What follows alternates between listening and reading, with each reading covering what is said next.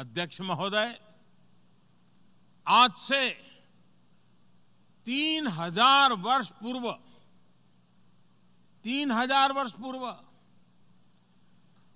भारत के महान कवि कणियन पुंगुन रनार उन्होंने विश्व की प्राचीनतम भाषा तमिल में कहा था। यादम उरे, यावरुम केडीर। यानी हम सभी स्थानों के लिए अपनेपन का भाव रखते हैं और सभी लोग हमारे अपने हैं। और ये तीन हज़ार साल पहले की बात कर रहा हूँ।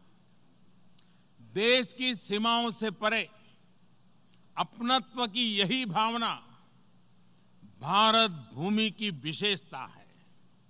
भारत ने बीते पाँच वर्षों में सदियों से चली आ रही विश्व बंधुत्व और विश्व कल्याण की उस महान परंपरा को मज़बूत करने का काम किया है, जो संयुक्त राष्ट्र की स्थापना का भी ध्येय रही है।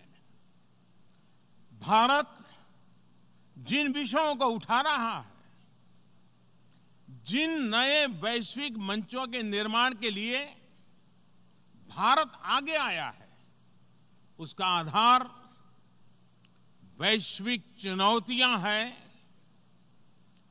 वैश्विक विषय है और गंभीर समस्याओं के समाधान का सामूहिक प्रयास है।